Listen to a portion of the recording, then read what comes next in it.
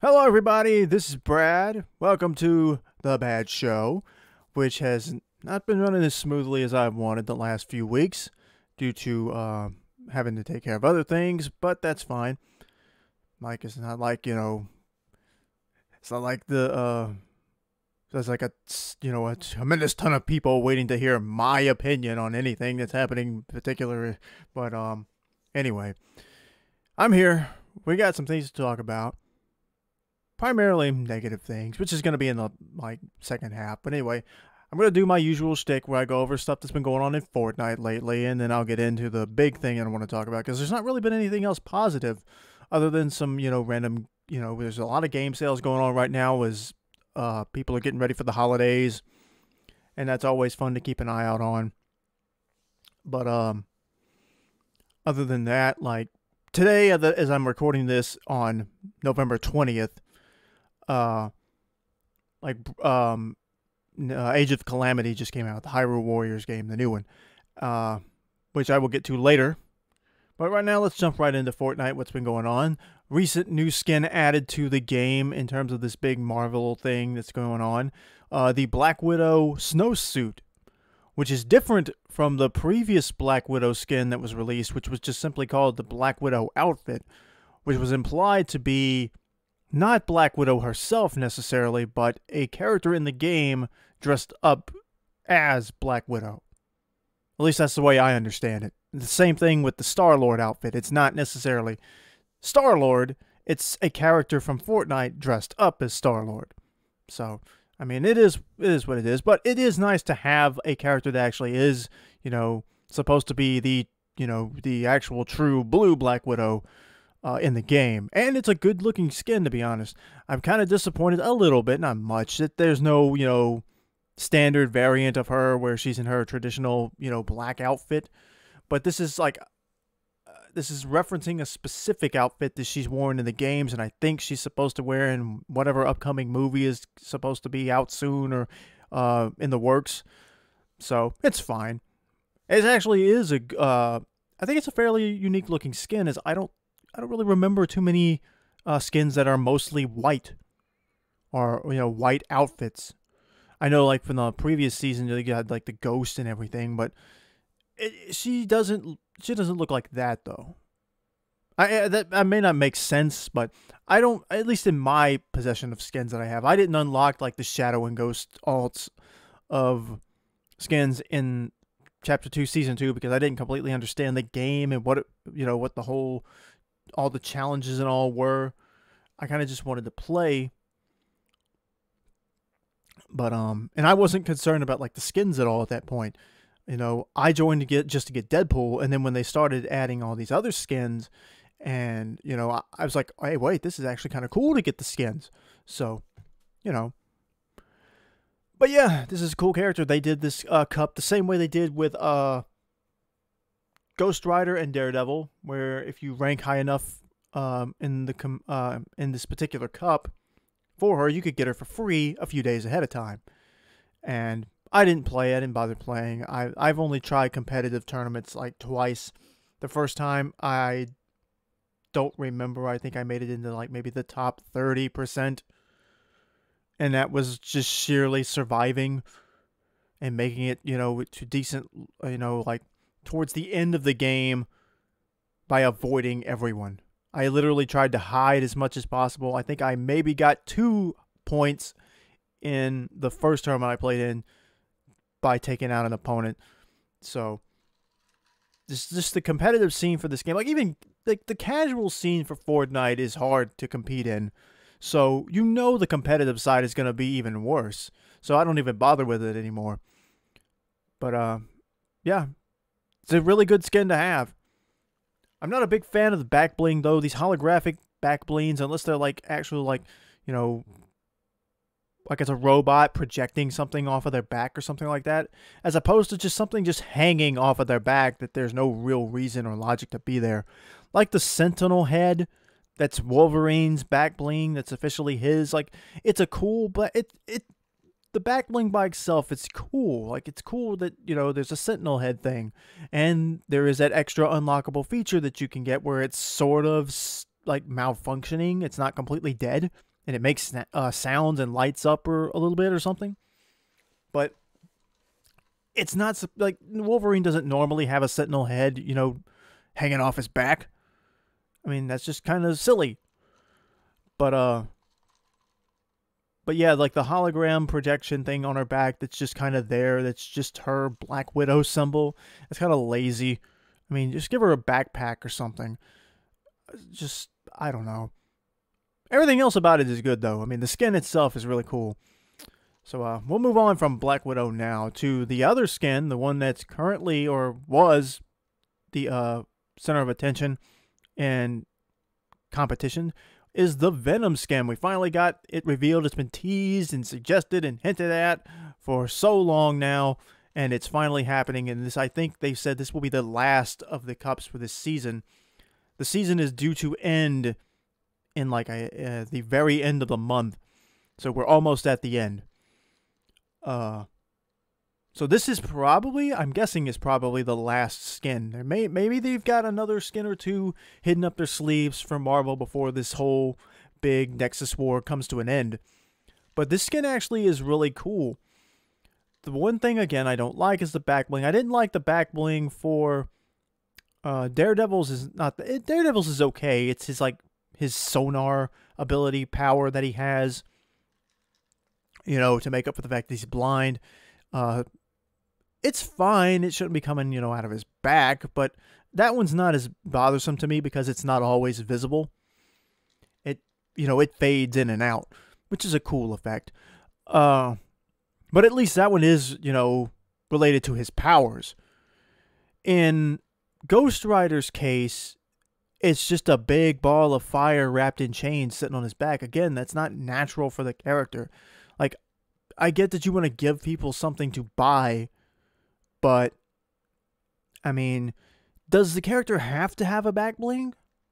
If there's not something that would be appropriate for it?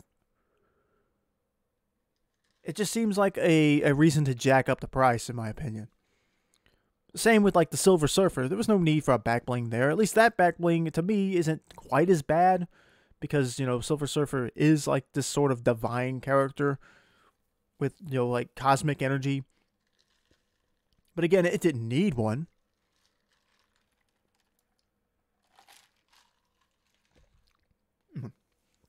Forgive me as I drink. But um Venom's back bling is the same. It's a big ball of symbiote uh, just gloop that kind of just sputters around on his back, which is cool. And I would say, like, the saving grace of it would may- be like the skin appears to be alive, for lack of a better term, because it is a symbiote. But apparently, the skin does this on its own. Like the little, uh, I don't want to say tentacles because that's not right, but like the tendrils or whatever you want to call them of where this the the symbiote itself is alive and is you know um you know shaping itself or readjusting itself to shape to the body of you know Eddie Brock you know where it shows that the actual skin is alive in, in and of itself. There's movement. So the skin is not never settling to show how it's able to you know adapt itself to do whatever including in the image here where it forms its own pickaxe, which is a cool visual. But yeah, the, the skin itself is cool, and actually, what I don't think anybody was expecting is there is a variant of the skin, which is based on a different comic, and it looks even more vicious than the standard Venom. So that's cool, and I'm actually not sure which one I like. I think I prefer the classic one, as I'm just that's just kind of how I am. I prefer characters when they retain their iconic, uh, you know, appearances, which is the same reason why I wished uh, Black Widow had her black outfit as an alt instead of just the white snowsuit. But again, you know, you know, it's fine as it is. But yeah, it, but the the the more vicious looking Venom is actually very impressive.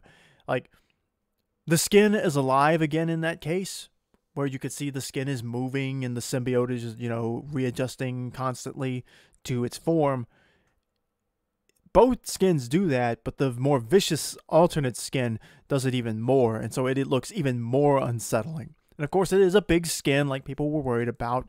So it is big and bulky like Brutus, but of course, you know, there's no the hitboxes remain the same, so you know, you're not getting an in-game, you know, there's no there's no real in-game advantage to using this skin or disadvantage. They all play the same. So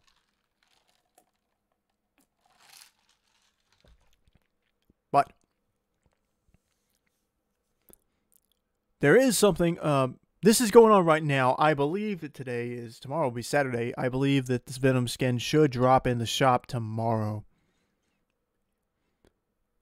And they had a little bit of a delay with it because they ran the big update uh, uh, around the same time they were going to do this. The, the, and the update dropped early for Xbox, so it kind of screwed things up. I'm still not sure what exactly happened in that uh, situation. But everything was cleared out. There is something going on that I saw this morning where people who were uh, who played in the Venom Cup were mistakenly given the Black Widow skin as a reward for you know placing high enough, and some people got both, and then some people who competed in the Venom Cup may have not have been given Venom or something like that, and then uh, were granted Venom later, but had the Black Widow skin that they had justly earned, I guess, maybe from competing in the previous cup as well and winning that uh, in that competition, or maybe buying it out of the shop, were mistakenly taken from them. So, for some reason, this has caused a lot of like technical issues that they're gonna have to sort out. So, I don't know. And I guess uh, before I move on to the next little Fortnite topic, which is another sort of you know, weird piece of, I guess, misinformation or just lack of information. Uh, apparently, mobile players are going to get to start playing again soon. I think there's some hope that Epic and Apple are going to settle their big legal battle out of court to try to keep this thing from going any further. I don't know that for sure. I didn't really read too much into it because I'm kind of just done with it overall. Kind of said my piece on, you know, it there's you know both sides are in that fight for their own selfish reasons. You know, I said, you know, if I if if the best outcome for gaming as a whole is that Epic wins, then I would like Epic to win. But I don't, you know, it it's it's it's just not really even necessary to pick a side though. Ultimately, Epic just wants more of the money they feel they're entitled to, and Apple's like, "No, we made a deal with you." You know, I, I don't know. I just hope that the people who love Fortnite can be able to play again soon, or any other game that Epic has that people can't play on mobile now because of the whole battle there. But anyway, that's that, and we'll move on to the thing that uh, kind of aggravated me, and that's concerning the Last Laugh Pack. Now, on the 17th, the Last Laugh Pack was officially made available. The catch that no one knew about was it was only for the physical release. Now, we had not heard this before. As people started going like, oh, well, here's the last laugh. Okay, well, well it should drop in the store, you know, this evening or whatever. And, you know, just got to be patient for it. But then we started hearing talks that no, there's no information apparently in the shop data from people who know how to dig into that stuff uh, to suggest that the last laugh pack is not available or won't be coming to the shop. There's no inform there's no like data in the game for it or something like that. And people are like, "Huh, I wonder what's going on there." And then eventually it came out that the physical version of the game that you have to uh, physically purchase is the only version of the game, or you have to buy a digital code from, say, Amazon or GameStop or whatever to get this game to get this way. You can't just buy it straight out of the uh, out of the item shop. Now, they did clarify that the game will be in the item shop, or this pack will be in the item shop at some point in December. Which I think they should have made clear from the beginning, instead of, you know, because they, they revealed this pack months ago. I believe it was towards the end of September that they announced this. And remember, we're in the middle of a Marvel themed uh, season right now. And so it's very interesting that they, you know, released this and, you know, they revealed it and released it in the middle of a Marvel, you know, thing. So these skins are available and playable and legit now. But if you don't want to go physically buy one, you got to wait till next month, which, you know, makes me wonder, you know, the season's about to end. So what is coming next month? Is is it going to be a DC themed uh, season? Could be. A lot of people seem to be suggesting that. You know, the idea was uh, that you know the uh, from what I understand is that Epic likes to sort of tease future content, you know, in ways that don't directly say you know that something is happening. And in season t- uh, two, chapter three, the secret skin we got was Aquaman, and then later Black Manta joined. And then at some point around the time of, um, I can't remember what the event was called, but it was for DC, they brought back the Batman packs that they had previously released before for people to buy again. So you could get two different versions of Batman, uh, Catwoman, and two different versions of Harley Quinn. So that's that, those are the three Batman characters that are already in Fortnite. So they allowed you to get them again. So there is a total of five characters from the DC universe in this game, you know, that now is starting to feature Marvel characters. Because remember, I think Deadpool was the very first one that came out. That's not counting, uh, that's not counting, uh, the, the, uh, oh god, the, um, Black Widow outfit and the Star Lord outfit, which are not necessarily the same characters. So Deadpool was the first, and then later we got the X Force. We got Psylocke, Domino, and Cable were added. Then later, in Chapter 2, Season 3, we're given Captain America, who arrives in the same fashion as the other heroes do at the start of Season 4. That was sort of the tease for what was about to happen. But again, remember that around that same time, we're getting Black Manta and Aquaman became available. Then they brought back in Batman and Harley and Catwoman. So a lot of superheroes are dropping into the map. And right now, while the focus may be on like Tony Stark and Galactus and Doctor Doom, you know, the Joker coming to the game, a major DC villain, one of the most iconic DC villains and one of the most iconic comic book villains in general you know, being added to this game is a big deal. So I think there's a good chance that the next season could be themed in DC. Could it be a DC versus Marvel theme? Could it be DC and Marvel teaming up to take down some greater threat? Possibly. I think that there's going to be some original story content related to it because there, what is the reason that Midas is returned? Why is Midas in this pack? in this new form that is either some sort of futuristic armor or a robotic body. I don't know.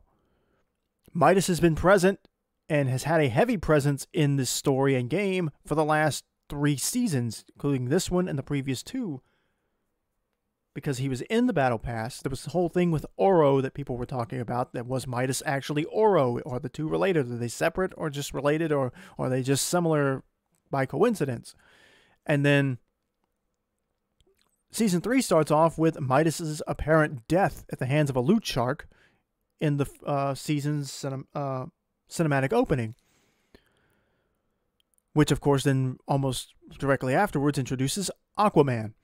But then Nightmare, uh, Night, Fortnitemares happens, and Midas returns from the dead as Shadow Midas. Now he's gone again, but here we have it just weeks after, you know, Fortnitemares, and he's back in the game as a new skin, and the, you know, the in-game sale of him will happen next month. So I think all of these things are connected. There's no reason to release a Joker, Batman, DC themed pack specifically for this and feature him in the trailer, which heavily, which of course it highlights uh, all three of the skins, but primarily features Joker, whose laughter can be heard throughout the trailer that was uh, released of Joker laughing maniacally.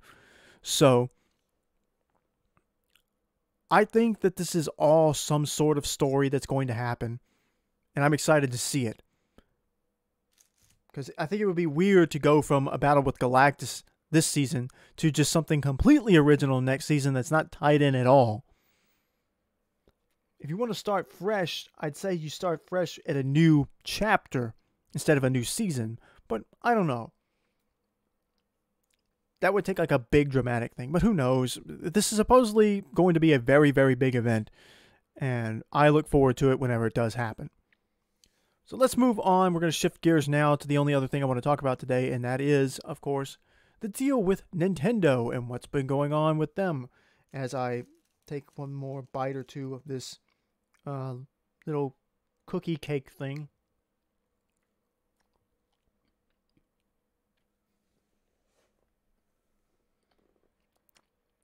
I wanted a snack.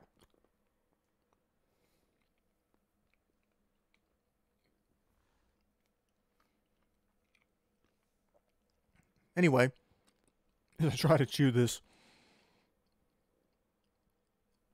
we have the uh, the big house. Now I don't know much about these guys they have here. I assume they're just some people uh, who stream games. So I don't know what the business is. I don't really know much about them, but apparently they organized a tournament to stream online that you had to pay to uh, be a part of, or something like that, to stream um, a tournament of Super Smash Bros. Ultimate and Super Smash Bros. Melee.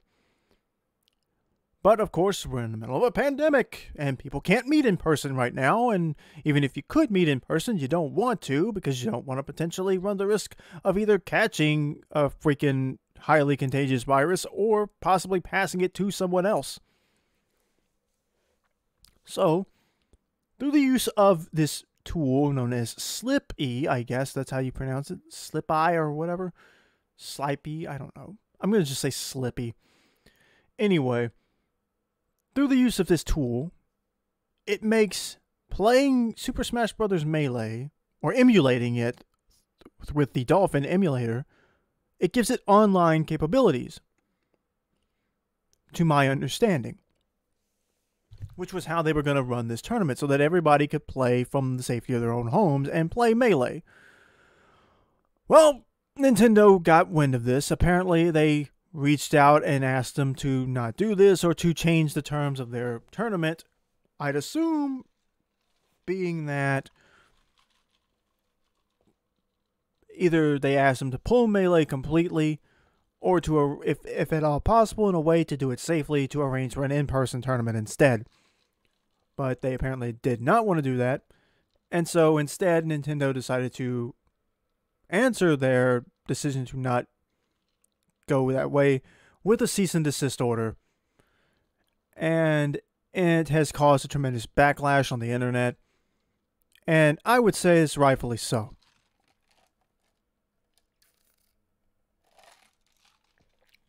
Now, here's the thing Nintendo is likely within their legal rights to do this. They own Super Smash Brothers and they can say at any time they want to that if they don't want a particular person or any particular person at all, uh, or the general public, I should have put it that way, uh, to stream or play a game a certain way, they can step in and say this is hurting our, you know, a uh, piece of intellectual property we own. And they would be legally correct. However, you're talking about a video game that Nintendo no longer profits off of. Nintendo no longer sells super. Uh, see, let me get. Let me get. I'm gonna have to back up because their what their issue is with is with the uh, usage of Slippi, as the statement says, if you can read it or not. I mean, I, let, let me stop and just read it. It says The Big House is heartbroken to share that we've received a cease and desist order from Nintendo of America Incorporated to cancel our upcoming online event.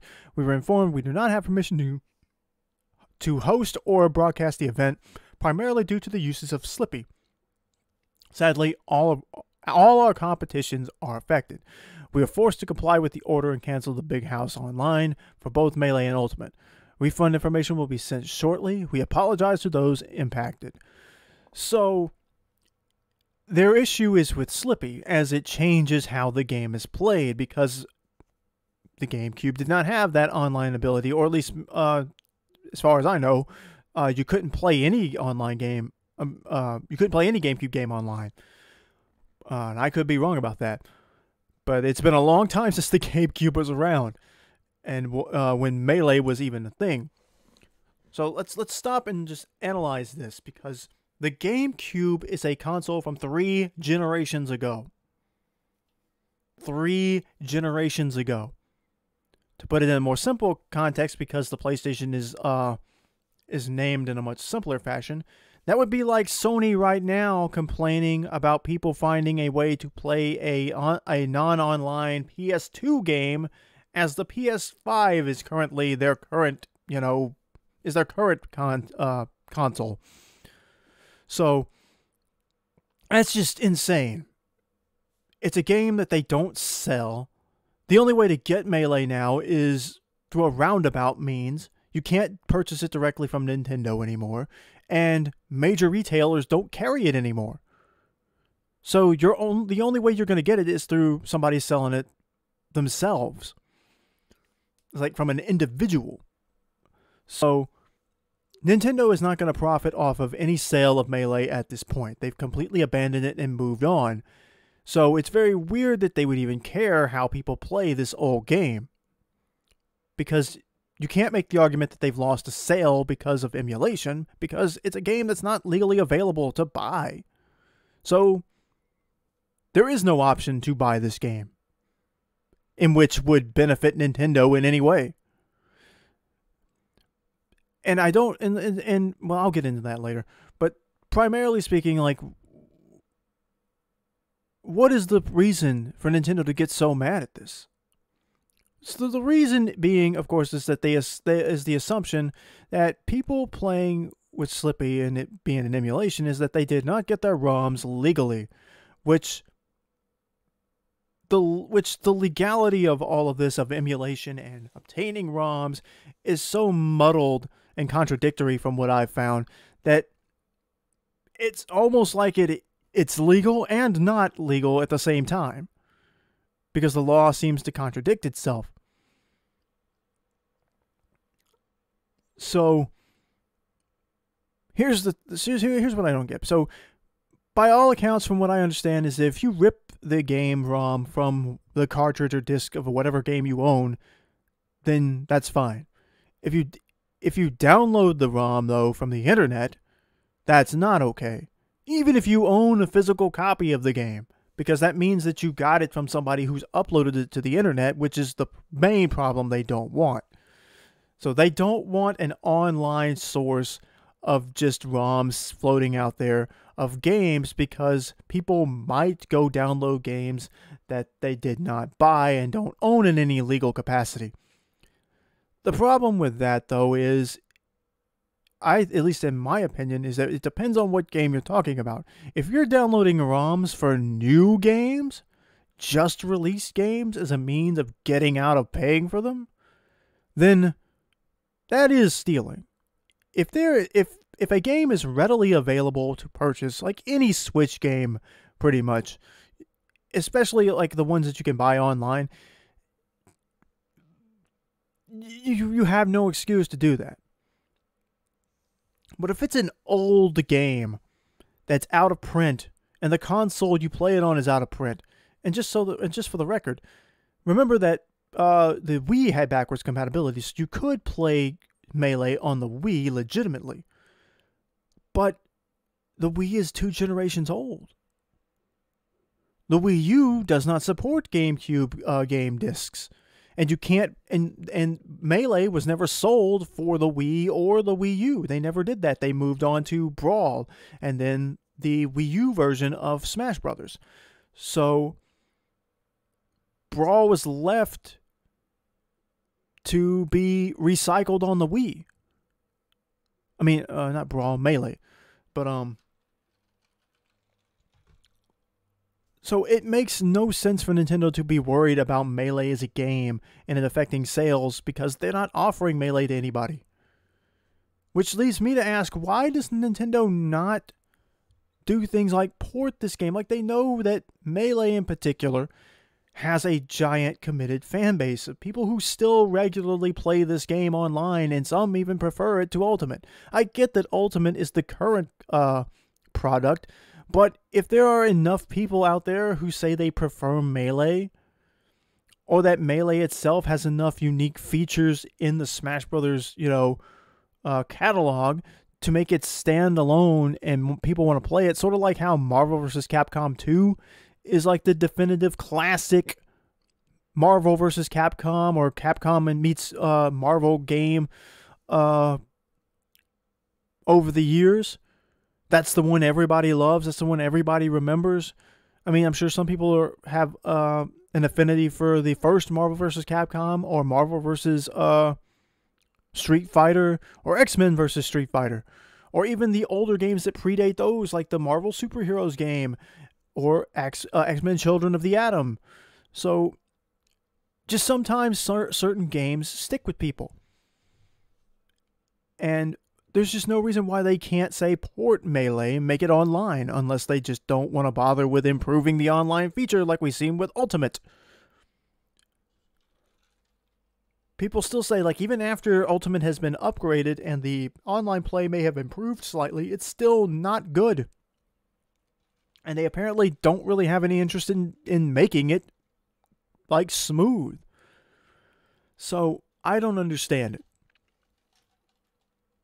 Like, because the argument I think would disappear. Like, you'll want people downloading ROMs of games. Well, I mean, again, like, and just, and I was talking to somebody about this on uh, Twitter last night. Like, the fact that getting a ROM or having a ROM of your game in and of itself really isn't a problem it's just the means of which you get it is what they want to fight. Again, you have to presume that the people who are downloading these games or ROMs or whatever on the internet are doing so strictly to avoid paying for them. And I think it's just kind of crazy. It just seems like such a waste of time, too, because again, Melee is almost 20 years old at this point. On a console that is no longer in circulation, and the most recent console you could play it on is again two generations old. The, the Wii is is gone. We're currently like four or five. I don't remember. Like we are well within the the the lifespan of the Switch, and I don't think the Switch is going anywhere anytime soon. But there's so many games that Nintendo just sits on, and then they get mad when people emulate them because they just let them sit. There's an entire catalog of N64 games that Nintendo could throw up on the uh, online service the same way they did the NES and Super NES games, and people would be more than happy to pay uh, an annual fee for that. Although the current catalogs for NES and Super NES games is very, very slim, even compared to the Wii U and Wii eShops. So I just don't understand why they don't do this. Like I've seen a lot of people complaining. Uh, I, I watched some videos on this last night about people saying like there's no online catalog for video games the same way there is like music or TV shows or films where you can go online and pay for a film on a particular service and then just watch it or rent it even digitally. You can't do that with video games and I think that the on the Nintendo Online uh, Switch service is is good or it's a good idea, but I don't think they're doing all with it that they could. Like it wasn't that long ago that they just added the Donkey Kong Country games to the uh, catalog. Like why did that take so long? They only seem to add new games to that catalog every like 3 months or so. It's almost like it's just a reminder that hey, this is out there. I think the last time they added games to it, I only like the only game that I saw that I wanted to play was or replay in this case was Donkey Kong Country 2. I've beaten Donkey Kong Country 2 a million times on the original SNES. and I would love to play it again. But some of the other games I've seen are just super obscure. I think one of them is even not even translated from Japanese into English. You just have to kind of just go in there and try to figure it out. I think it's a fairly simple game. I don't remember which one it is, but it just they, they need to do more. But again, this just this doesn't make sense. I mean, I've never I don't really understand the problem with emulation when it comes to games that you legally own. Like as long as you own the physical hardware necessary to play the game, I don't see why emulating it is is a, a big deal.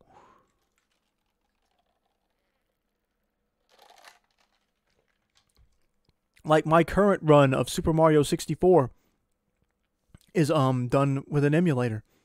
But I have an N64 that is playable, and I have a copy, a, cart- a cartridge of Mario 64 that is playable. So what's the problem? I also have and bought the physical version of Super Mario 3D All Stars, which contains Super Mario 64. So whether I'm playing it through an emulator or playing it through my Switch, when I record the gameplay, why does it matter? It shouldn't matter. I mean, again, I don't think that people who use like the online like ROM sites and stuff to get around uh paying for games, I don't think that's fair. I mean, I know that people I mean, look at YouTube. I mean, there people post clips of stuff they don't own all the time on YouTube. I mean, but I don't think that actually like hurts the industry. And in particular, we're talking about old games. We're talking about games from 20 years ago that, of course, the publisher themselves, like the Nintendo, has abandoned. Uh, Nintendo doesn't care about Melee anymore. They can't make money off of Melee, or they've chosen not to make money off of Melee in 2020. Instead, they've they want Ultimate to to make all the sales. Which I don't understand why they can't just do both. You see, this game has a die-hard fan base. Port it, make it playable online. Maybe since it's an older game, you can uh, make it uh, functional online. Maybe it won't be quite as complicated. I don't know. Because I'm not a tech wizard. Why not try? Reach out to people. Listen to the uh to the fan base. Listen to people who want to consume your content. You don't think that some of these people, these hardcore Melee fans who still play Melee religiously 20 years later, wouldn't be willing to pay for a service or pay for the game online if it went uh if it showed up in the eShop? Of course they would. An HD widescreen possibly port of of Melee? You don't think people would want to see that?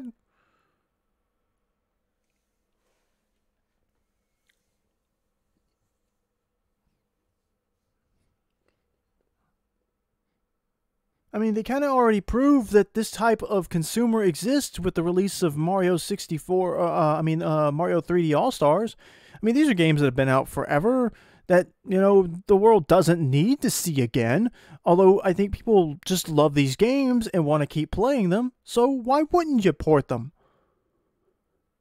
And they even went so far as to do the fake uh, widescreen option for Sunshine to try to make it look a little better. I mean, I don't think the game. I don't think these are perfect ports, and in, and in some cases, uh, as people later found out, which is very very ironic and hypocritical of Nintendo, uh, the ports are apparently run through emulation.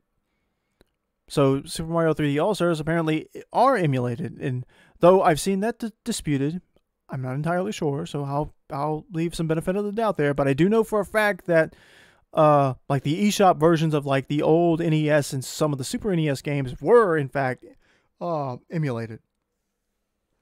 And do not mistake the fact that the NES Minis and uh, SNES Minis are emulators. So, so Nintendo themselves don't have a problem with emulation. They just have a problem with the fact that they think they can, you know, milk you for money in any way they can. And again, I have an NES and Super NES Mini. I have a million different ways to play some of these games. So make the like do something with this. Do you see that people love Melee? Whether like whether you want to argue or not whether Melee deserves to still be, you know, to still be relevant 20 years later, you know, that's a different discussion. But let the people play the game they want to play if you're not going to sell it to people. Oh, this game doesn't originally have online, you're alternate it. Whatever. It's 20 years old. You don't want people to play this game in in a uh, you don't want people to go around the original limitations of the game to uh play it in a way that you didn't originally envision. Well, guess what? You're Nintendo. You've had one of the best years you've probably had in a long, long time. Put, put your money where your mouth is and provide people with an official way to play Melee online. You can do it. It's possible. I'm sure it is. Somebody knows how to work that and make it happen. If if if this emulator can do it, surely Nintendo can afford to provide an official means to do it. See, that's the real problem. The real problem is, is that it's not Nintendo's feature. Sort of like how what was it? Was it uh was it Street Fighter 4 or 5? I can't remember which one it was where the online play was really bad and then somebody went into the files and uh, fixed it. It may not have even been Capcom, but somebody released a patch for a game that's online was terrible. And they released a fan made patch that actually fixed the net code or something like that, or the rollback. Uh, I, am probably butchering these terms because I don't fully understand them and how the coding and all works. But basically, a fan fixed a game with terrible online and then the publisher turned around and basically wanted to ban people for using the fan made patch, then issued their own patch, which actually was not as good as the fan patch. So it's more about the idea that, like, oh, we didn't come up with this, so we don't want people doing it. You know, if we're going to do this, we want to be the ones to do it. Only in Nintendo's case, they're just not going to do it. They just don't want somebody else to do it. That's what the real problem is, and of course money, because that's what co- uh, corporations. That's the that's the end game of every corporation, and they don't really care. You know, they don't. It's not about protecting Smash Brothers or or even Melee specifically. It's just about money, and I assume that they're gonna that they're that the implication is well we could. What if we do this one day? This could cost us money or you've stolen Melee off of the internet, a game that you can't legally purchase anywhere in a way that benefits Nintendo at all. You cannot buy this game from Nintendo anymore. If you want to buy Melee, you're going to have to send Bob from Michigan or wherever uh probably 200 bucks at least. I don't know how much Melee runs for used on Amazon or wherever people sell it but you're probably going to have to sell out a pretty penny to get your hands on a physical disc of Melee these days.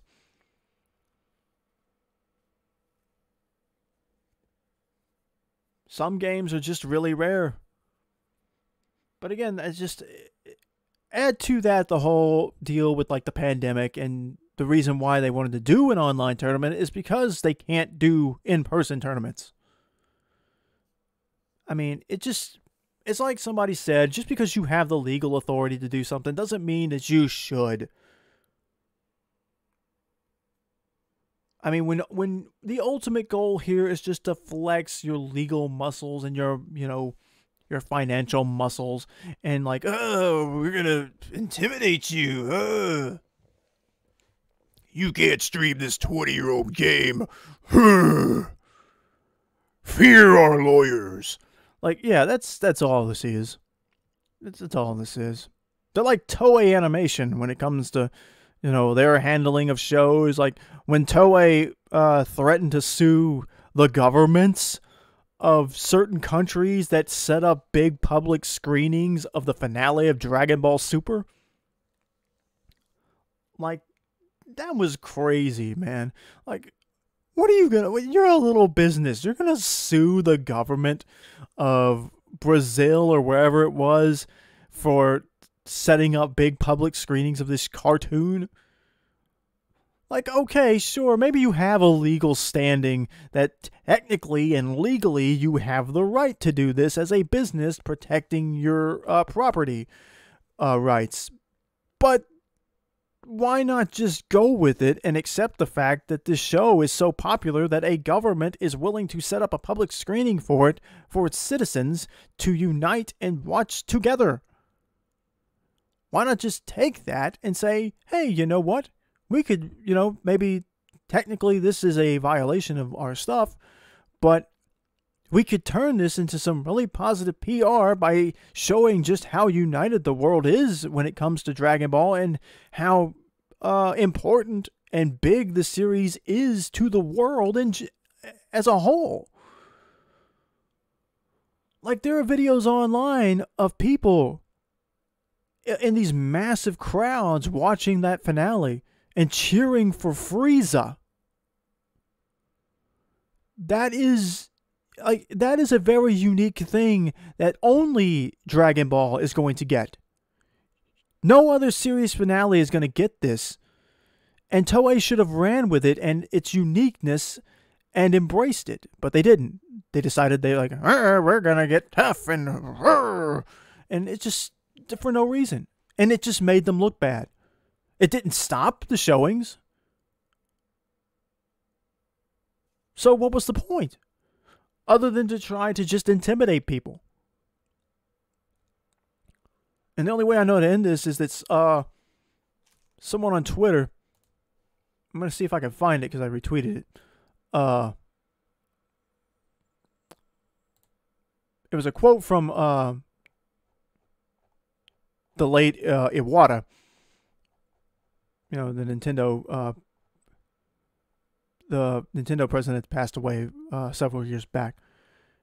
Here it is. It's from uh, it's from uh, the, from creator of uh, Boundary Break. Uh, you can go find that on his Twitter uh, at Boundary uh, Boundary at Boundary Break. So uh, it says, and this is the quote from uh, Satoru Iwata. Uh, it would not be appropriate if retweet. Uh, it would not be appropriate if we retreat. I'm getting tongue tied. So let's start over. One more time. It would not be appropriate if we treated people who did something based on affection for Nintendo as criminals. And that basically sums up. And by the way, I don't think that Nintendo completely, you know, I don't think that even during that era, Nintendo was completely, you know, innocent of stuff like that because I think they've always kind of had this tendency to decide that the best option in the face of, you know, uncertain things or whether or not somebody has taken advantage of their IP or whatever. Like we've seen this with the fan games get shut down. Like, oh, somebody made their own fan Pokemon game that a few people played on stream that features a few Pokemon that aren't official. Oh, gotta shut that down. Surely a modded version of Pokemon Fire Red in 2020 is bound to make some people say, oh, I'd rather play this game than Sword and Shield. Like, no, if somebody's going to play that, if somebody would rather play a modded version of Fire Red in the year 2020, they weren't going to buy Sword and Shield in the first place.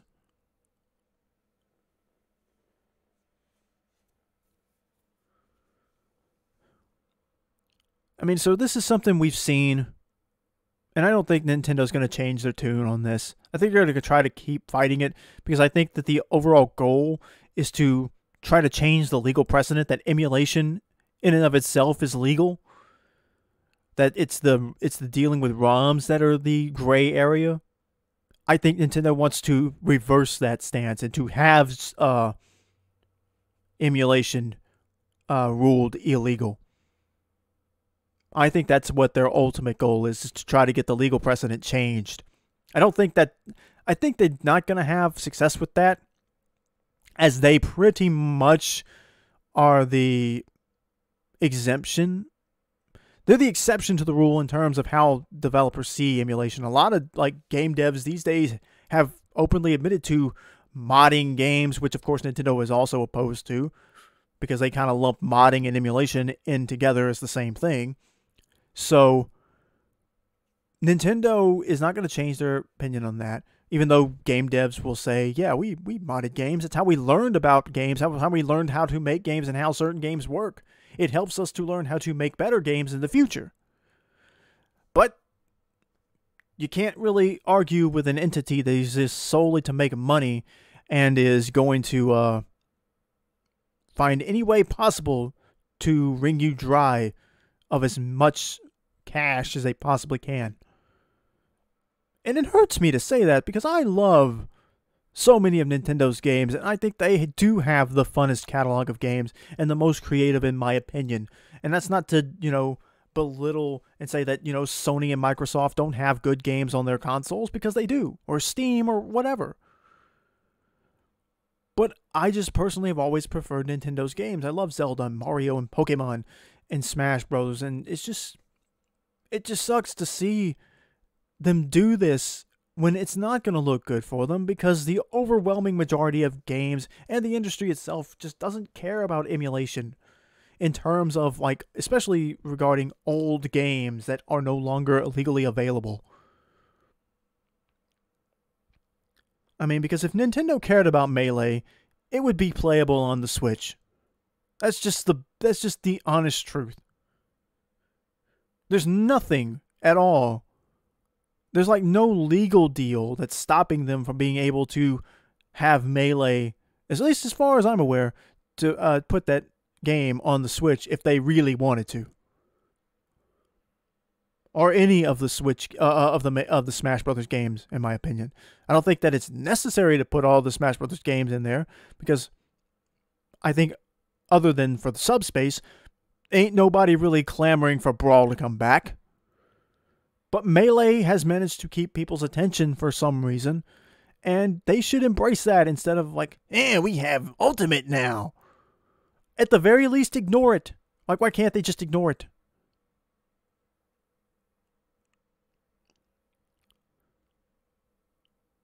Like, see, that's that's the thing that gets me. Like, they they could just ignore this. They don't have to highlight somebody else's tournament. But anyway, we see this. And one other thing I'll quickly touch on, just to kind of wrap this up because I've been going for about an hour, is with the release of, I guess it's today, is the official first day on the 20th. Breath of the Wild has officially come out in the US. Problem with that is, apparently, the game's been out for a day or two outside of the US. And of course, gamers who are not American are going to want to stream the game that they bought with, you know, on the date of the official release, but Nintendo decided to halt or, you know, ban streams of Breath of the Wild until it was out in the US. I do not understand this at all. Like the idea that you've broken the rules of streaming because the game isn't out in a country you don't live in that's just dumb. Like, if you didn't want that to happen, why didn't you release the game worldwide on the same day? I'd assume that there's nothing stopping them from doing that. I don't think that's ever really been a problem before. At least not recently.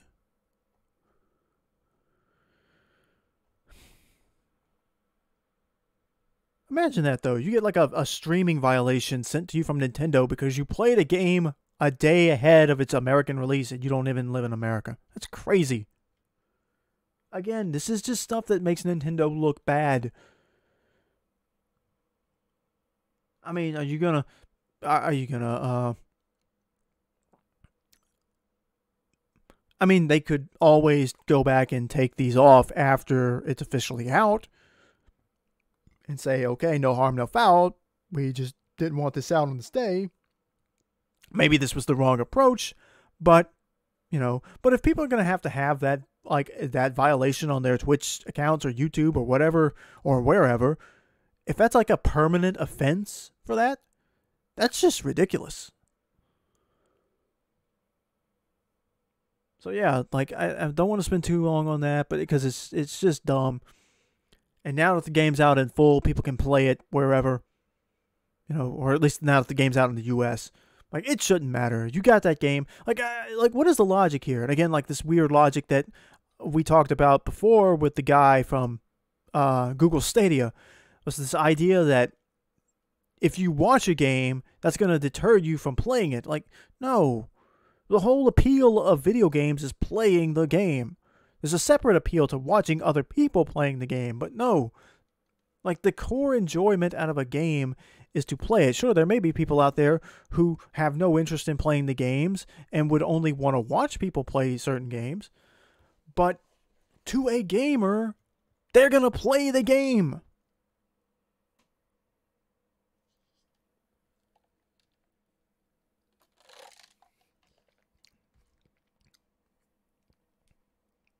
That's what sets games apart from like music and shows. You cannot you have no influence over the arc of a story that's being told within music or within uh, uh, a TV show or film because that's all written and directed by somebody else. You do have some control, though, over video games. Like, just for example, Pokemon. The team that defeats the champion at the end, or captures and defeats the, the bad guy, or captures the legendary Pokemon in the story, is up to you. You make those decisions, how that battle goes out, you know, how that battle takes place. Even in something like that's mostly insignificant, like Super Mario Odyssey. Like the outfit you wear when you face Bowser is up to you. You can wear your Santa Claus outfit to face Bowser in the end. You can wear your traditional Mario outfit. You can wear the 64, you know, polygon blocky Mario outfit or the metal Mario outfit. Pirate Mario outfit. You can wear whatever you want, but you have control of that. You have control of or in in Breath of the Wild where you you follow the story on your own path it's completely open to you how you do these different things. You can go straight off of the uh, Great Plateau to face Ganon right away and just skip everything. You can do all the challenges. You can just go get the Master Sword and uh, go fight Ganon without doing some of the other stuff. It's not all necessary. You don't have to free the Sacred Beast to defeat Ganon. It just is helpful to do that and you get more of the story background by doing that, but it's not necessary. So you control the story narrative to some extent, even if it ends up in the same place, which is with defeating Ganon. But again, that's what I mean. The whole point of the appeal of video games is the interaction, especially if you're talking about playing games with other people. Again, I just wish Nintendo would take a step back and realize that, you know, with great power comes great responsibility just because you can do something doesn't mean you should. Just because Superman can sneeze a planet out of existence doesn't mean that he should, uh, you know, do that. It's just crazy, man.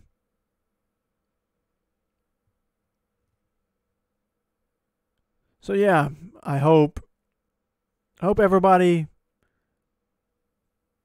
you know, I hope everybody, you know, I, I hate it for the guys who wanted to, do the tournament and didn't get to. That sucks. But, uh, you know, you can't, sometimes you can't fight somebody that's just got too much money. So, yeah. Anyway, that's it for the show. I've talked for a long time, longer than I thought I was going to talk. But I hope you enjoyed listening to me complain and rant. But uh, I don't know how this is gonna go forward. I, I try to keep these on Saturdays. I'm gonna hope I can. Maybe I will. Maybe I won't. But either way, thanks for listening. Uh, tune in for the next one. Check out all my gameplay stuff, and we will see you next time. Later.